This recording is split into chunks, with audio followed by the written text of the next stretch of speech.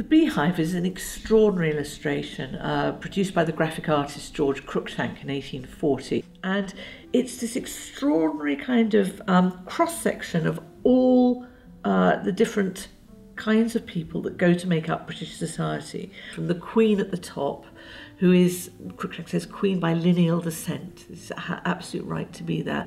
Then on the next tier you have the Lords and the Commons, and then we go down to other important institutions like trial by jury, uh, freedom of all religious denominations, these things that make Britain great, Cruikshank seems to be saying. And then you go further and further down, and each strata has a different set of people, all arranged by occupation. So we have medical science, uh, we have lawyers, further down we have grocers and cheesemongers, until you get right to the bottom where we have chimney sweeps, uh, costermongers, people who are literally the lowest of the low. Now, while Cruikshank was, in a sense, you know, a radical commentator, he's also deeply conservative with a small c. He has a sense in which these these roles that everybody's inhabiting, tea dealers, cheesemongers, drapers, are going to be like that forever. There's no sense in which how you could get from being a sweep at the bottom of the pile right up to the top. It's fixed and it's permanent.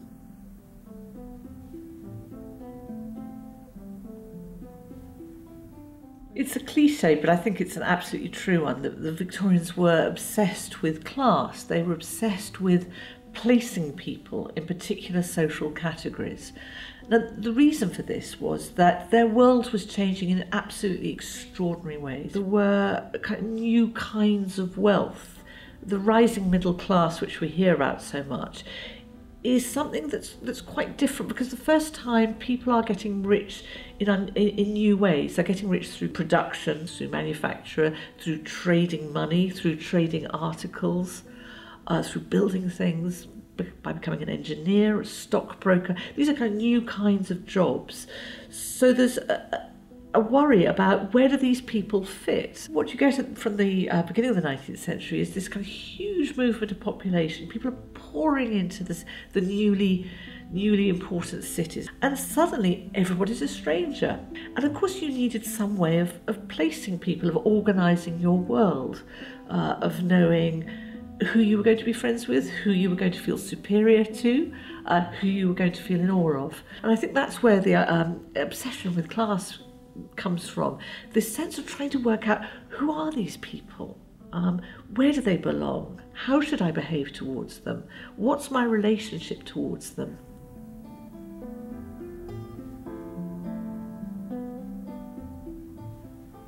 what it meant to be middle class uh, was to hold a, a, whole basket of values. One was a belief in the absolute power of the individual to make their way in the world. That sense in which if you work hard enough, uh, if you work harder than the next man, and it would be the next man, not the next woman, you will make it in the world. You can overcome any number of obstacles and make yourself who you want to be. Now, of course, along with that goes uh, a very particular way of understanding the economy.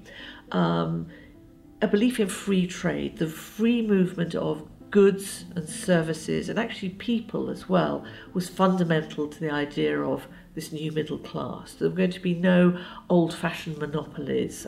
Men and goods and prices and corn and everybody will find their proper level if only we have free trade.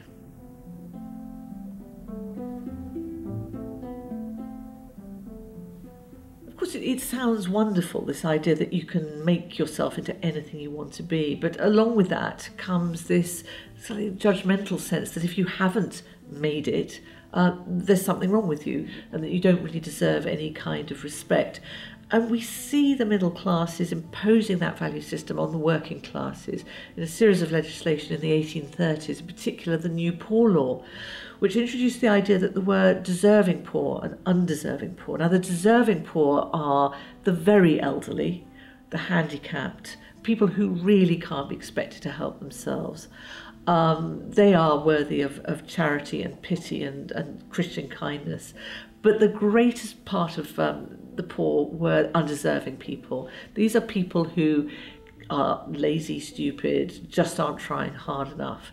And for them, there's to be no compassion at all. They are going to be spirited into the much hated institution of the workhouse.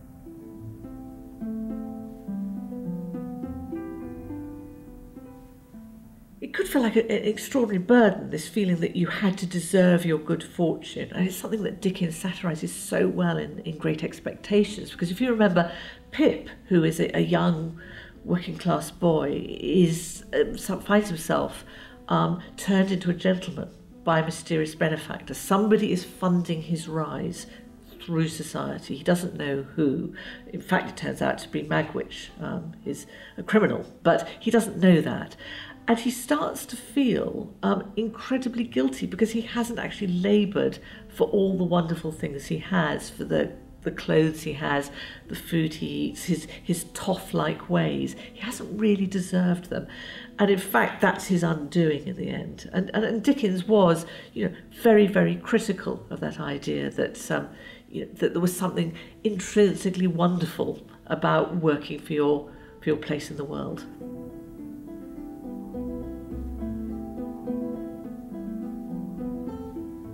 Is, of course, another downside to this ideology of, um, of, of making your way in the world. I mean, men are supposed to be out there fighting dragons in the sense of getting on in the free market economy, beating the next man, undercutting him, getting a bigger fortune. That's all good good middle class stuff, but it, it doesn't sit very well with uh, with with a sort of Christian belief in the sense of uh, brotherhood of man, uh, and not uh, not damaging anybody else by your actions. And one of the solutions that uh, the middle class developed was by, um, as it were, keeping the man out in the world, in the world of free exchange, of, of, of kind of intense, intense commercial opportunism and competition, but by isolating his wife and his daughters in the middle class home. Now, in the middle class home, all is sweetness and light and gentility. There is no competitiveness. I mean, inevitably, there's, there's, there's a sort of hypocrisy involved in um, kind of being immensely competitive in the outside world uh, and then coming home and, as it were, becoming somebody who is, you know, a good Christian, gentle, meek, and mild But perhaps more importantly for hypocrisy, it must have been a, a terribly difficult tension to live out in yourself.